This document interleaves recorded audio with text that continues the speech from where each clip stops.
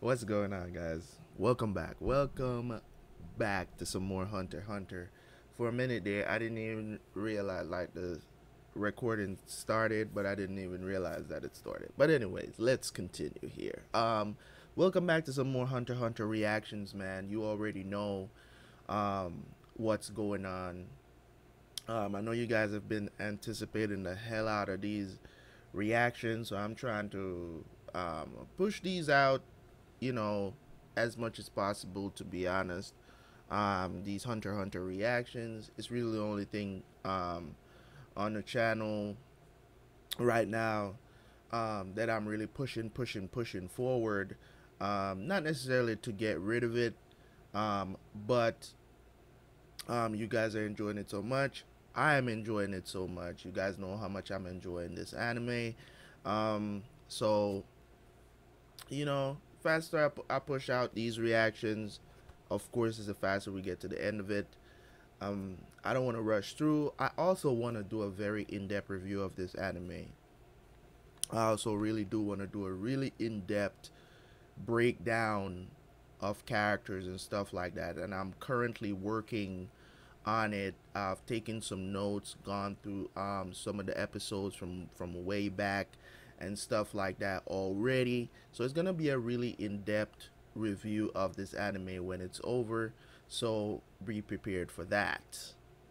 Okay. Alright, so we have got the meeting of Gon and Pitou How will this meeting um, go? I don't know. It's Gon and Killua going in there. I don't know how this is going to go. And we also are preparing for the battle between Meruem and Netero. So we have all those things to look forward to. Who knows how many episodes I will be doing today? Um, I'm definitely going to be trying to do more than five. But if if five you get, then it's five you get. Okay, you already know. Um, it depends it definitely depends on how I how I feel and stuff like that. If I if I'm at a point where I feel like okay, I can you know end the reaction here, but it looks like the five increments I've been doing pretty good. So who knows? I might stop at five, or if thing goes well, then I will continue to get my fill. Let's just say that. So brilliant fight between um, Respect to Shoot um, and Youpi. It was a good fight to watch, not only just because of the fight, but to know that pretty much, you know, how Shoot was fighting. Now he's basically fighting for his life.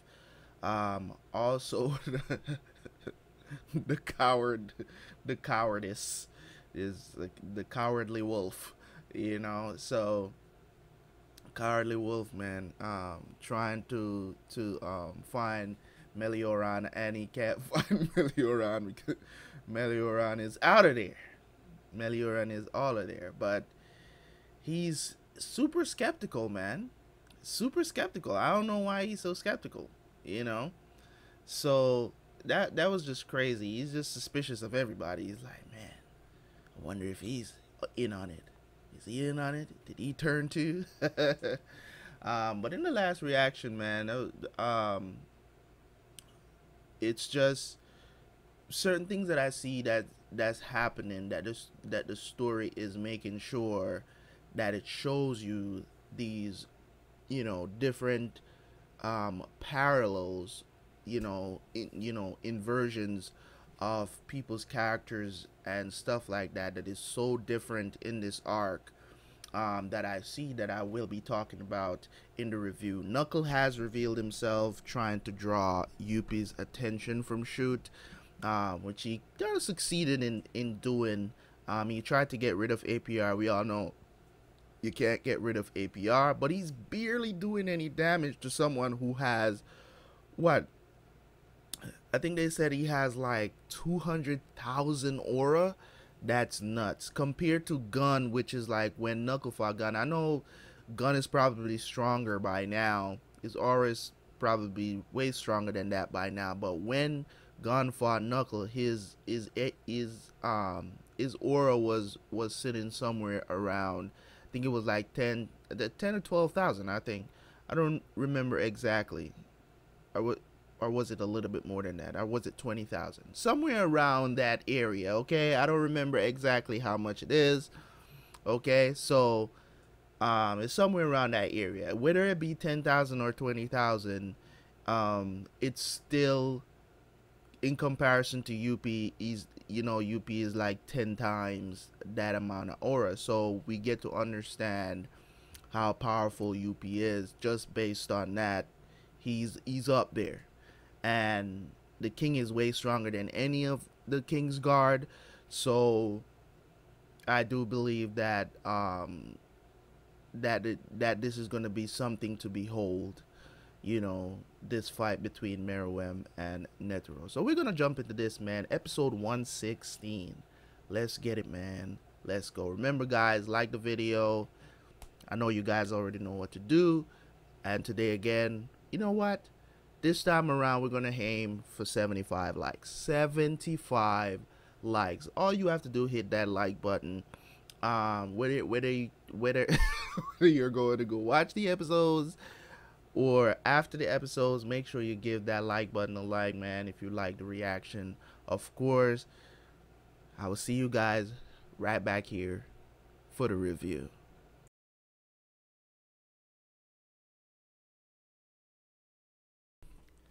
All right, so here we are doing a review of Hunter Hunter. I think I just did 116 to 125. That's crazy.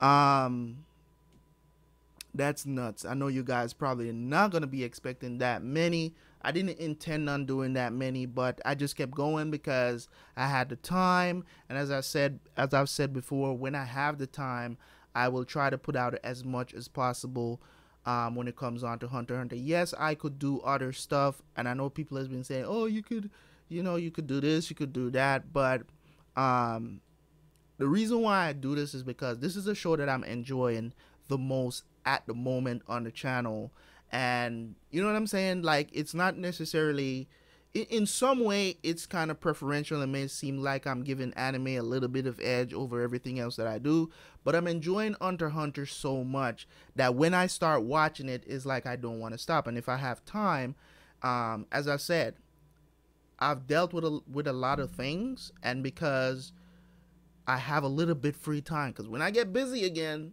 it might go back down to, to three, four episodes. So who knows? You know what I'm saying? So when I have the time, I'm trying to push, I'm trying to watch as much as possible. You know what I'm saying? I'm not trying to to um to do one episodes a day or something like that. I don't have time for that. So when I do, sometimes I get a get a um what do you call it? Like a, a block of time to do things and I just try to pump out as much reactions as possible. Um, there's other things that I have to do, guys. It's not just YouTube. So when it comes on to these 10 episodes that I just watched, we got to see, let me see if I can remember everything that happened. So, um, we got to see Gon's decision on what he was about to do. He was angry, of course. He's super angry, but there's this black part that that's appearing with his aura now that I I really do not like it because they're obviously showing they're obviously showing Gon's um is change. Jesus is change right? They're obviously so showing his change which is which is um you know from him being this um this good quote unquote good character into being someone of a morally um morally susceptible to evil if you want to if you want to call it he's turning into something different from the Gon that we've known throughout the series so far. And it's slowly it was slowly happening and I've been seeing it and this is something that I am going to have in the in the, in the review of the series later on um, which I'm going to talk about really in depth about Gon's character and certain things that I noticed about his character that um, that is really like if you looking at it at, on the surface, it's nice and it's good, but if you actually should know somebody like that in real life, you would be like, why is this okay now? Just because, but it's not okay then. You get what I'm saying?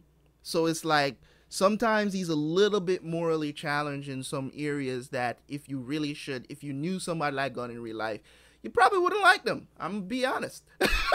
you know what I'm saying? So when it when it comes on to um everything that's going on, Killua, you know, kind of trying to reach him, telling him to calm down, evaluate the situation, you know, and Killua calmly deducing the situation of what happened based on the information that he knows because they know there should be a third party. Right? There should be a third party, so he evaluated things. Um, but he was discouraged by what um, Gon said to him. You know what I'm saying? Be- basically telling him that, you know, this has nothing to do with you. In not so many words, be like, this doesn't mean anything to you, so you can stay calm. But that ain't that ain't it. Sometimes people can be in a situation where they know, you know, doo doo is hitting the fan, right? Doo doo hitting the fan. I'm trying not to curse on YouTube anymore, so yeah. so doo doo hits the fan, right? And you just gotta adjust. You gotta stay calm. It's not all the time you gotta be all encouraged and stuff. You know what I'm saying? Um, Gunner's never really lost anybody. You know, Killua probably has seen countless people die, including those who he have killed. You know what I'm saying? So in terms of seeing somebody a little bit more, I want to say, opposite of him, good natured. You know what I'm saying? To seeing somebody like that and be becoming friends, and for that person not to treat him like a monster. You know what I'm saying? That that could be the reason why Killua really, really, you know, other than respect, like loves Gon as a friend. You know, so I'm so glad that Palm reminded Killua that dude, no matter what, you are the best option for Gon. You are. So never doubt that. You know what I'm saying? I believe that 100% that he is the only one. It's kind of like you have a he, they're best friends, they're best buddies, they're they're brothers, you know? You know what I'm saying? They're they're brothers. You know what I'm saying? Family, brother from another mother, however you want to say it. They're brothers in my eyes, and he has changed Killua for the better. You know what I'm saying? Is influence on Killua, and now Killua is kind of seeing something in him that probably probably Killua probably even blames himself because this kill this killer instinct that he has or he has shown. You get what I'm saying? maybe he feels like that's rubbing off on Gon. You know what I'm saying? And he could be blaming himself for that. That's not explicitly said or anything. It's just wheels spinning in my head. But the thing that I really want to focus on for this, um, we got Morello, Youpi evolution, all of that good stuff happening. We saw how great Killua wanted to let off some steam. We were introduced to Godspeed. Um, which is a combination of what whirlwind, whirlwind, and and um, lightning, right? So we also have um, Morel almost dying, um, and, and Knuckle had to come in. Basically, Knuckle had to take off APR. Well, not necessarily that he had to. It's more of like he made a choice because he wanted to save Morel. Um, Knov looking like an old man. I don't know why he looks so shriveled up and stuff. Is that his real appearance? Who knows? I mean, it hasn't been that long since this thing started going down. We all know this. It's probably it's probably been maybe a little bit over an hour, I want to say, since all of this been going on. So it hasn't been long. Um, we saw Chito died. Silva came in looked like he came in from the sky, took out Chito, whatever you want to call him, Chito, Cheeto, Cheeto, whatever you want to call him, trying to mess with Grandpa Zoldyck. You will get smashed. Okay, so that was pretty cool to see. But the thing I want to focus on mainly, we got the Netero and Meruem fight going on, and we saw how that's progressing. You know what I'm saying? Meruem just being a boss. Um, I mean, Netero is doing some tough stuff at him. Let us pray, and I'm definitely gonna write that down as a as a as as a merch idea to have a to have a shirt to have a um to have a shirt with Netero on it in that stance with let us pray or Buddha bless you. I'm definitely gonna have that that uh probably gonna have that on a merch. Um quote me on that.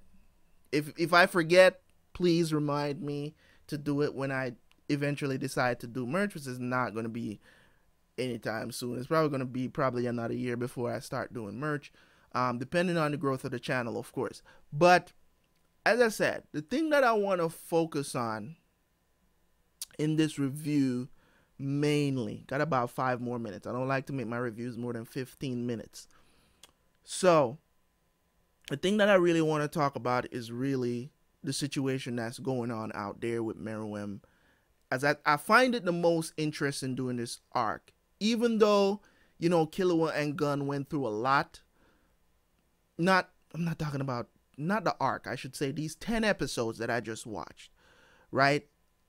I find what's going on with Netero and Meruem more interesting than what's going on between Killua and Gon and Gon and Pitou. All that stuff that was going on in there. Learn about the abilities, all that good stuff. Even Ikago has shown some really good resolve during these 10 episodes. Respect to him, respect to even Welfin.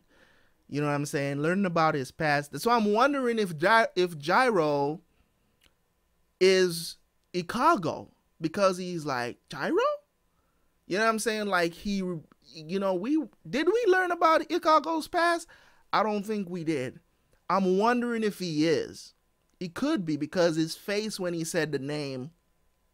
You know what I'm saying? And then finding out that Gyro had basically an older uh, older brother not by blood, but you know what I'm saying. He calls him his brother. Be interesting to know who Gyro is. At first, at first, at one time, I was thinking it was the king, but I don't think it is the king. I, you know what I'm saying? I don't think so, because, you know, as I said, there's this battle going on in Meruem's head, and Netero noticed it right away, which props to him. You know what I'm saying? It's Meruem wanting to have a conversation. And that that little speech he gave before he sat down is why I said it's the most interesting thing to me because the thing that the person that came out of his mom just slapping people's head off and the person he is right now willing to reason I mean, that's character development is not not so many episodes. I think he has the best character development in this arc so far. I think I've said that before. Right? I think he has the most interesting he's not necessarily a antagonist he is, but at the same time he's more of an anti-hero just under trying to understand who he is. Netero not really giving him that chance, but he still wants to talk because he's like he's like eventually at first I'm going to have to kill the majority of y'all, but at the core of it I just want change. It kind of reminds me of Sasuke's dilemma, right? But I don't want to talk about not Naruto. I want to talk about Hunter Hunter. So, kind of reminds me to say it's just the, the same kind of vision that Sasuke had um, when he returned to help with the war, right? He wants to become Hokage, but oh, let me kill the strongest guy alive and my best friend so I can achieve that. but, anyways, let's um, Meruem is the type of character that I love to see in anything that I watch because it's it's a person that believes that they there's certain things that they have to do to get the job done, right? Whether it be morally right or wrong, they want to get it done. They don't care what other people think. If they believe that they're powerful enough to get the job done, you see me with the Kurapika here. Take that picture right there. Anyways, um, crazy. It, it's just it's um, sometimes when you when you actually listen to what he had to say, right? That's why my face was like that during the reaction because I was like it makes a lot of sense. But on the other hand, what would you have to do to get that mission accomplished is like not ideal. right? So, you know, for Netero, and and in a sense too, Netero is kind of undermining what what Meruem is saying because at the same time he's looking at it, it's like, dude, do you remember that it was a freaking ant, as you call them, that came to you and asked for mercy to save his mom, which is Kurt, right? So how can you look at Meruem right now and don't want to have that conversation? Maybe you can talk some sense into him. You never know. Maybe you could look at him and be like, um, I understand where you're coming from, but we could work together, try to make a world the world a better place without mass murder, without genocide. We could do this. You know what I'm saying? Because I never knew because if if he can have compassion for Kurt, he can have compassion for Meruem. Understanding that the dude right now is wrestling between is be, you know he's wrestling in between being an ant and a human. You see that. You initially saw that. So that for me is just makes it so much more interesting because i'm like why netero going so hard? Is it because he just wants a good fight? You know what i'm saying? Why not have this conversation?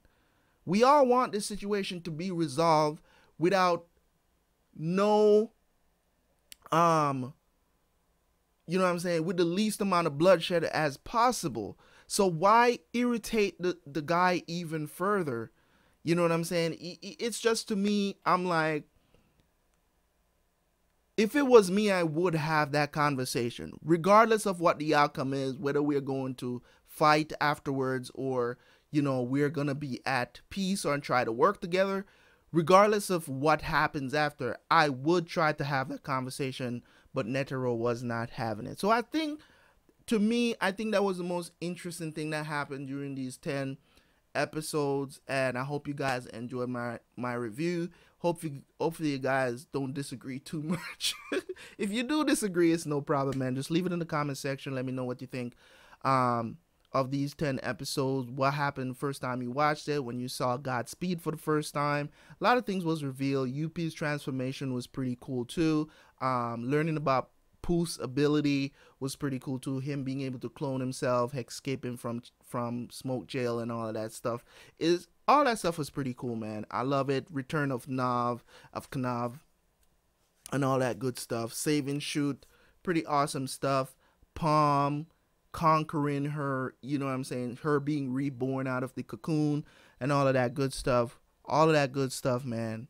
Pretty brilliant brilliant, brilliant writing. I have to say, brilliant writing. The events that are taking place. I'm the narrator is the MVP of this arc, hands down. Quote me on that. The, I tell you, the narrator is the MVP because there's not a lot of action during the arc. You may think there's a lot, but there's really not. We go, we'll get one episode of action, and then the next two, three episodes, there's nothing. It's just dudes running around and talking. So the narrator really holds the pace and then holds the show together during those slow moments. You know what I'm saying? And keeps the pacing going and make it seem like it's just going by like that. And that's why I said, man, the narrator is the MVP of this arc so far. Thank you guys so much for watching. As always, make sure you hit that like button if you have not done so already. Leave a comment in the comment section, man, and subscribe if this is your first time seeing one of my reactions, of course, there's more to come. Just remember, you are Tera Squad. I am Mr. Terabyt Reacts, and I will see you guys next time for some more Hunter Hunter. Peace.